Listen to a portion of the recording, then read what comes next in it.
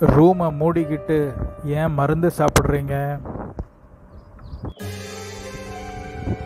Doctor தான் அரை மூடி மருந்து சாப்பிட சொன்னாங்க. ஆ?